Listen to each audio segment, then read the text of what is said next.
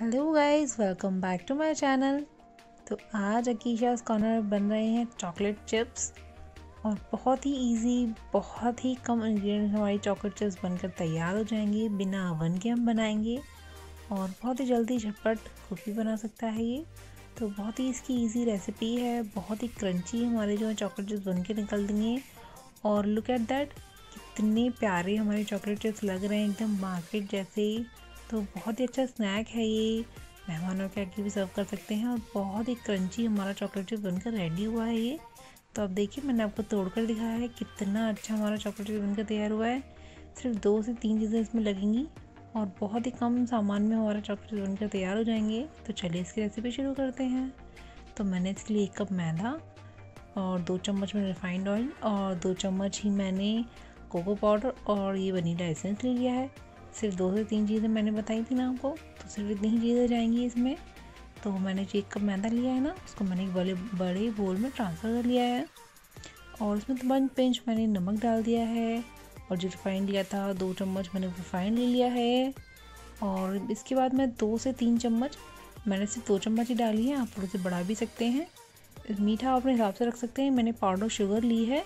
तो मैंने इसमें दो चम्मच डाली है, आप चाहें तो तीन, चार चम्मच कर सकते हैं अच्छा खासा मीठा करने के लिए। और ये छः से सात ड्रॉप मैंने वनीला एसेंस की डाली है। वनीला एसेंस अच्छा हो तो, तो छः सात में भी काफ़ी अच्छा फ्लेवर आ जाएगा। और अगर थोड़ा आप क्वालिटी का फ़र्क है तो आप ज़्यादा भी ले सकते हैं ताकि वनीला एसेंस का फ्लेवर आए थोड़ा अच्छा सा। अब इन सब चीज़ों को मिला लेना है अच्छे से। जो हमारा ऑयल है ना उसको अच्छे से मिला लेंगे। तो मैंने जल्दी वीडियो बहुत लंबा हो जाता है इसलिए मैंने जल्दी आपको दिखा दिया है। तो आप नॉर्मल पानी इसको गूँथ लीजिए अच्छे से। बहुत ज़्यादा सॉफ्ट नहीं रखना है बहुत ज़्यादा टाइट भी नहीं रखना है। अब इसके दो पोर्शन कर लीजिए। तो दो पोर्शन मैंने इक्वल क्वांटिटी के मैंने दो पोर्शन कीजिए। तो जो मैंने कोको पाउडर लिया था ना उसको मैं इसमें मिला दूँगी। चाहे तो आप अलग से डो बना सकते हैं लेकिन आ, मुझे लगता है एक साथ में बहुत ज़्यादा मेहनत भी नहीं लगेगी इसमें।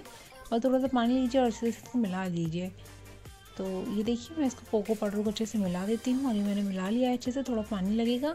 और थोड़ी सी हल्की सी मेहनत आएगी बस इसको मिलाना है अच्छे से। तो ये देखिए मैंने हल्का सा पानी का यूज़ करके इसको अच्छे से मिक्स कर लिया जो हमारा कोको पाउडर था ना तो ये देखिए। तो ये अच्छा इसका डो बन गया है। तो इक्वल इक्वल क्वांटिटी के थे। अब मैंने सेम साइज़ की दो पॉली ले ली हैं। आप कोई भी सेम साइज़ की जो इसमें दाल पैक होकर आती है ना, वो भी ले सकते हैं, ये ले सकते हैं। मैंने इसे इक्वल साइज़ की ली हैं। तो एक मैंने पॉली ले ली है। अभी मैंने जो मैदा का डो था डो तो पहले मैं उसका क्या करूँगी थोड़ा हल्का सा इस पर ऑयल लगा दिया है मैंने। तो इसको मैं क्या करूँगी? पन्नी में डालकर इसको मुझे बेलना है। तो मैंने पन्नी इसलिए ली हैं ताकि इसकी शेप दे सकूँ मैं चौकोर चौकोर। तो इस तरह से और बारीक बारीक हमारी जो है जो हमारी बेलना है जो हमको, जो शीट हमें तैयार करनी है मैदा की, एकदम बारीक बारीक हमारी और इक्वल ही हमारी बिल के रेडी हो जाए। तो इस तरह से मैं दो फैला रही हूँ ताकि इक्वल इक्वल हमारा फैल भी जाए और बहुत अच्छी सी शेप आए इसकी। तो इस तरह से इसको फैलाना है अच्छे से। तो मैंने बहुत जल्दी वीडियो ताकि बहुत लंबी ना हो जाए, इसलिए मैंने जल्दी जल्दी आपको वीडियो दिखा दी है ये। तो इस तरह से की शीट को हमें बनाना है इक्वल इक्वल हमें इसको बेलना है। तो ये देखिए, मैंने इसे कॉर्नर तक इसको बेल लिया अच्छे से। ये देखिए। इसी तरह से आपको एक शीट तैयार करनी होगी। तो इसी तरह से जैसे मैंने रेडी कर लिए है ना तो इसी तरह से मैं आपकी जो हमने चॉकलेट वाली रेडी की ना, वो भी चॉकलेट वाला जो हमने डो रेडी किया है, उसकी मैं इसी तरह से शीट रेडी कर लूँगी। इसीलिए मैंने दोनों सेम साइज़ की मैंने पॉली बताई थी कि दोनों सेम साइज़ की लेंगे तो बहुत अच्छा रहेगा। तो अब इसमें मैं हल्का सा ऑयल लगाऊँगी और इसको भी मैं इसी तरह से शीट को शीट बना लूँगी इसको ना। तो बस इसी को भी मैं शीट बना लेना है इक्वल साइज़ इसके मैं कॉर्नर काट देती हूँ। मैंने इसमें नहीं काटे थे। इसमें कॉर्नर काटने से क्या होगा? इसमें जो हवा भरेगी ना, वो हवा निकल जाएगी तो बहुत ही ईजिली हमारी जो है शीट बनकर रेडी हो जाएगी। जैसे उसमें थोड़ा सा मुझे पनीर बार बार सिकुड़ रही थी ना तो वो इसमें नहीं सिकुड़ेगी। तो इसका भी मैंने सॉल्यूशन बता दिया आपको। जैसे कि क्या होगा शीट हमारी बहुत ईजी हमारी बनकर रेडी हो जाएगी, बिना किसी दिक्कत के। तो ये देखिए, कितनी जल्दी हमारी शीट बनकर रेडी हो गई है ये। तो इक्वल शीट हमारी बनकर रेडी हो गई है। अब हम इसको क्या करेंगे? इसको थोड़ा सा उठा करके कैची से इसको कॉर्नर से काट दूँगी मैं इसको। तो इस तरह से इसको पहले अलग कर लीजिए पॉली है क्योंकि और हल्का सा ऑयल मैंने उस पर लगा ही दिया था। तो कोई दिक्कत नहीं आएगी आपको इसको हटाने में, बहुत ईजी आपको ये शीट जो हमारी निकल जाएगी बाहर। तो इस तरह से मैंने पनीर कॉर्नर से काट दूँगी कैची की हेल्प से। इस तरह से इसे जो हमारे कॉर्नर्स हैं वो काट देंगे, जिससे कि हमारी शीट जो है वो आसानी से बाहर निकाला है तो मैंने जो मैदा वाली शीट थी ना वो भी मैंने बाहर निकाली इसी तरह से। तो दोनों साइड के जो कॉर्नर थे ना वो काट लिए हैं मैंने। और ये देखिए अब मैं इसको आ, इसके ऊपर रखूँगी। तो इक्वल हमें इसको रखना है बहुत ज़्यादा जैसे नहीं कि बहुत चिपकेगा। तो इस तरह से मैंने हाथ पे ले करके इसके ऊपर रख देना है। इस तरह से। और इसको अच्छे से प्रेस करूँगी हाथों से।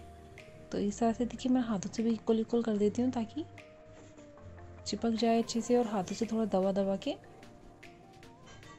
अब तो इसकी पन्नी को मैं हटा दूँगी। ये देखिए, कितना इजी है ना। पन्नी पे करने से बहुत हमारी शीट भी बहुत अच्छी तैयार हो जाती है इक्वल और इसे निकालने में भी कोई दिक्कत नहीं आती है। तो बस इसको मैं कर दिया है मैंने। अब मैं इसका रोल रेडी करूँगी। एक बार इसको हाथों से और बेलन से ना थोड़ा दबा दीजिए ताकि जो हमारा चॉकलेट है ना अच्छे से चिपक जाए। तो इसको मैं रोल रेडी कर दूँगी।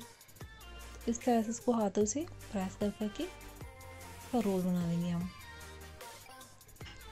अगर आपको मेरी रेसिपीज़ अच्छी लगती हैं तो प्लीज़ मेरे चैनल को लाइक कीजिए सब्सक्राइब कीजिए शेयर कीजिए ज़्यादा से ज़्यादा।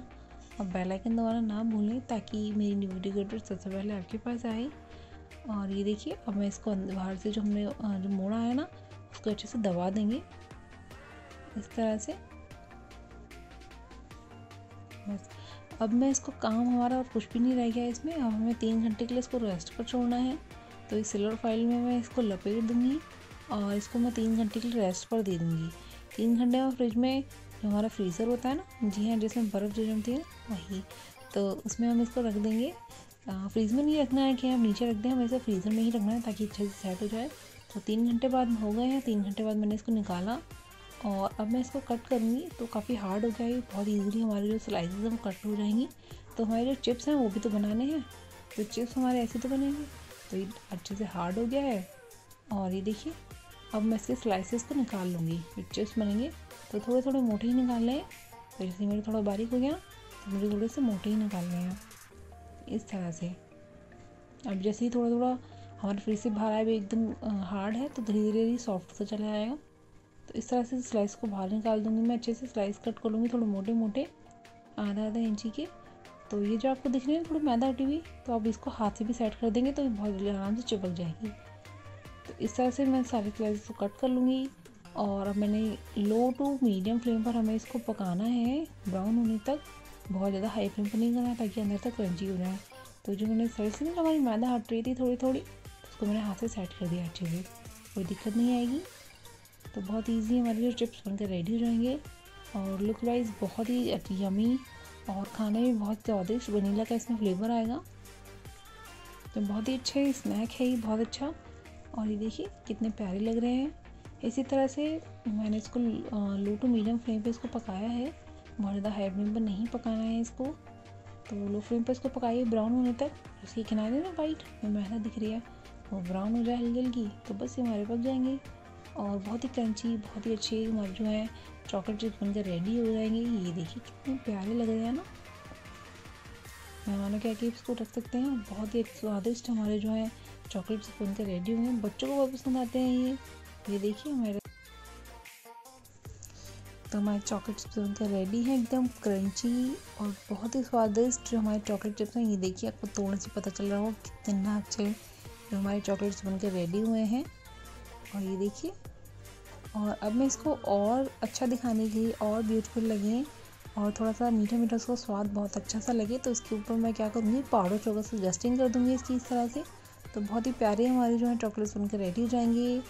तो ये देखिए, लग रहे हैं ना कितने प्यारे। तो ये बहुत ही अच्छा हमारे चॉकलेट्स बनकर तैयार हो जाएँगे, बहुत ही कम इंग्रेडिएंट्स में। अगर रेसिपी अच्छी लगे तो प्लीज़ मेरे चैनल को लाइक कीजिए सब्सक्राइब कीजिए शेयर कीजिए। मिलते हैं अगले वीडियो में। तब तक के लिए bye bye thank you thanks for watching